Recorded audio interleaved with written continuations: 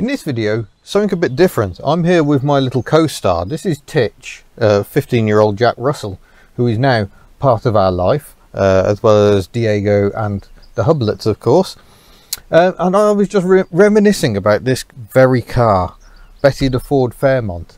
And uh, I was going through old video files, found an entire episode of my travels around New Zealand that at the time I deemed too miserable. Uh, I, I, was feeling really quite glum as I came up the west, the northwest coast of the South Island um, in New Zealand. The weather had been absolutely terrible, and uh, I'd, I'd, had a really bad night's sleep in the hotel. So it's it's extreme grump nut in this one. So um, never seen before footage, never before seen footage even, and uh, I hope you enjoy it. So let's jump back to this is towards the end of 2019 december 2019 i had no idea this little mischief maker would be my life. You having fun down there? Well um, i've had a pretty awful night's sleep at the commercial hotel. Um, there's a really noisy fan or something next door and um, the staff were out chatting merrily outside my bedroom window at half six this morning. That was appreciated. Not um, but um, Betty is loaded up. Uh, I've decided not to bother them for breakfast. I will go and find breakfast elsewhere. Um, but yeah, I'm going to push on because um, the day doesn't seem too bad. It has rained a lot overnight. But um, yeah, places to be, things to do. Nelson is the main place to visit today. So we're going to see how the open road treats us today. So about 200 kilometres to cover today. Uh, should be a fairly easy day, but I do want to have a good nose around Nelson. So we'll um, spend some time there and then make my way to Ngakuta Bay, I think it is. Um, which should be quite spectacular, right at the top of South Island, where um, the ferry comes in. So uh, that should be a nice way to end the day. We'll see how the weather treats us. Well, this is Nelson then. Um, it's a bit wet, but um, it's definitely a bit towny.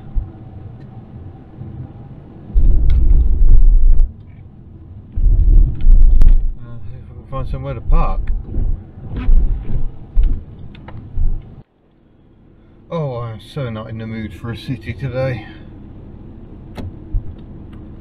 It's just awful. There's um, nowhere to park.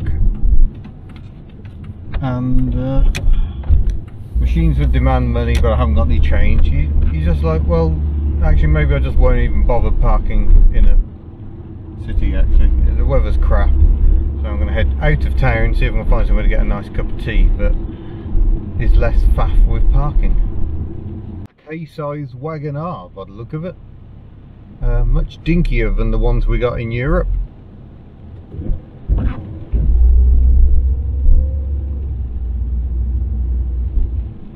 Well, this weather is um, pretty demoralising, so I'm afraid I'm giving Nelson the swerve. I just can't be doing it. trying to find somewhere to park and then just find myself in a town centre surrounded by the sort of awful shops I don't really like. So um, I'm going to continue along the north coast of the South Island and uh, see um, if things improve slightly.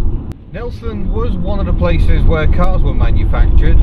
Uh, they manu well, they assembled rather um, Jaguars and various other British Leyland products here. And uh, when that started um, all falling apart they switched to Honda.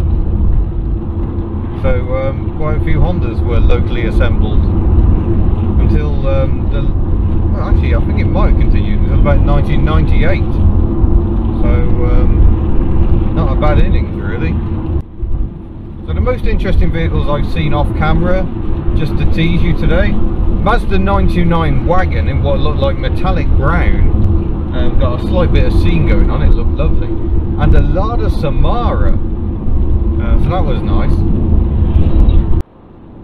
Oh, I should also point out that unsurprisingly there is a car museum in Nelson. But um, yeah, I was looking through the pics and just going, well, I've seen these cars before, and that includes a Accord. Um, so uh, yeah I decided to give it a miss I'm just feeling a bit museum though, feeling a bit journeyed out to be honest.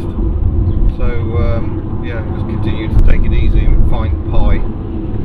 That seems the best approach. We've still got about 77 kilometres to go today.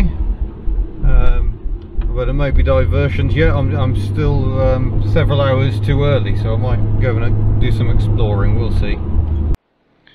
So this is Queen Charlotte Drive, and um, it is one of those places they're just um, magnificent. It looks much better when it's not pouring down with rain, and there's a lot of silt in there. It was a lot more blue the last time I was here, because I've actually driven along this road before. Uh, excuse me if I get back in the car because it is raining. Um, but yeah, I have driven along this road before when I first came to Picton about a month ago.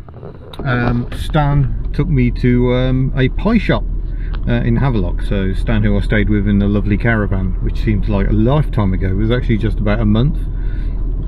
Quite amusing. That Falcon wagon almost just crashed. That was funny. Um, so yeah, we jumped in his Toyota Alphard, and off camera we drove along this road and. Um, this is what Queen Charlotte Drive looks like. Uh, oh, it's a handy refresh rate, isn't it? But you can, um, oh, no, not that. You, you, can see it gets a fair wiggle on. It's just bend after bend after bend. And it must be said, a Toyota Alphard is not really the best vehicle for that sort of terrain. So it'd be interesting to see how the um, Falcon or Fairmont compares. Right, I can give you almost a driver's view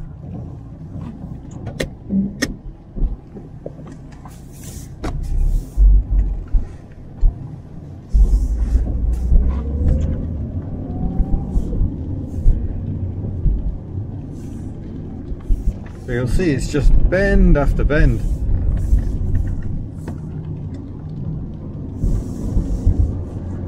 And while the um, Ford Fairmont is um, not exactly the finest handling machine, uh, the steering's a bit weightier, uh, the body roll is a bit less, and uh, yeah, it feels a, a bit more suited to this terrain.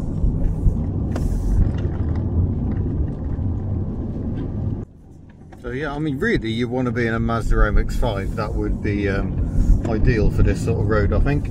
Not a um, Toyota Hilux like the one in front of us, or an enormous Australian barge. But nonetheless, I, I think Betty accounts for herself rather well. There is a special treat before we depart Picton and head back to the North Island. We're going to take a look at the Edwin Fox a remarkable ship. It dates from the 1850s. It was built in what was then Calcutta, now Kolkata, I think, uh, in India. And um, it brought some of the early pioneers over, as well as taking convicts to Australia. And uh, it has somehow managed to survive, despite being used to store frozen. Uh, actually, it was used to freeze lamb carcasses at one point uh, then it was used to store coal. And uh, spent 65 years being used as a coal dump. Then spent 20 years pretty much just abandoned in the harbour or around the corner from it. And uh, has since been brought back here. I think it was 99 1999 it came here. And um, now it's undercover.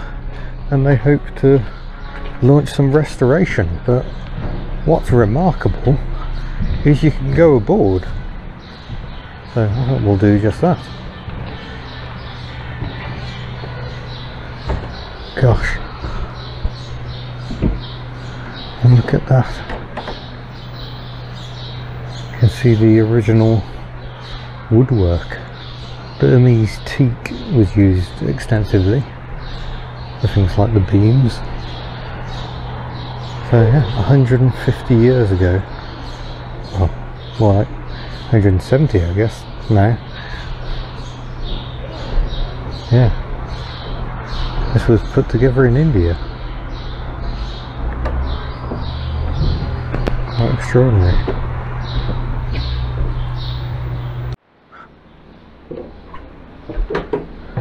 Well that's unexpected. We can actually come down here see these original timbers. See some of the ironwork used to reinforce the structure. Some serious damage here when it was dumped um, in the harbour and the sea level would rise and fall each day. So where the wood was below the surface of the sea, it's still very sound and fairly sound above it as well. It's where the two mixed that caused the problem. Sorry, I watched a video before I came down here. I didn't just know all this stuff.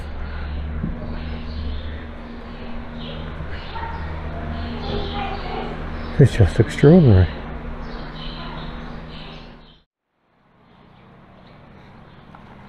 Playing a game of how close to a cormorant can you get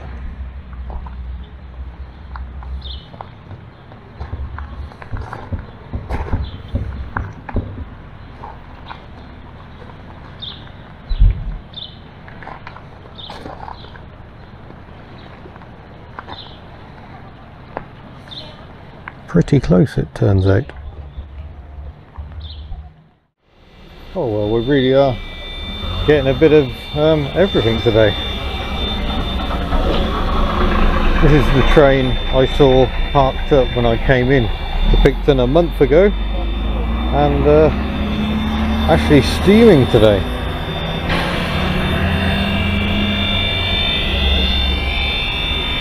Big old tank on the back. Passchendaele.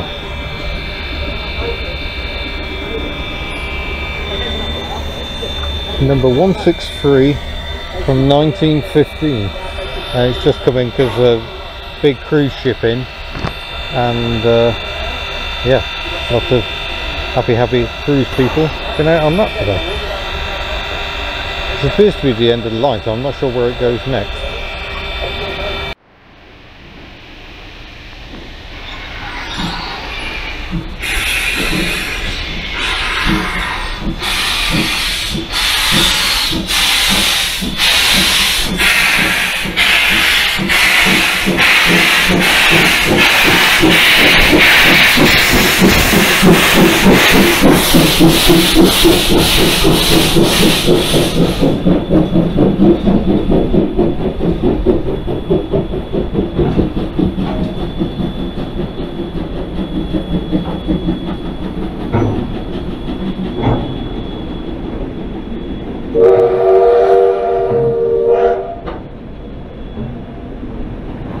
I guess that's the Pachu done for this one.